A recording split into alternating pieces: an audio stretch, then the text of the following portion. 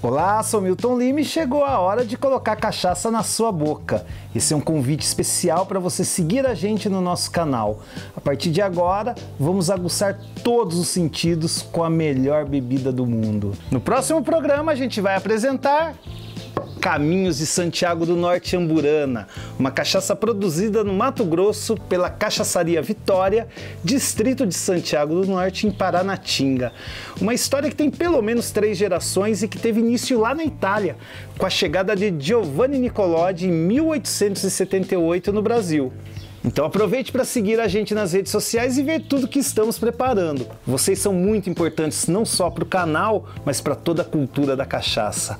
E velho, se beber não dirija, beba com responsabilidade, com moderação. Cachaça é nós.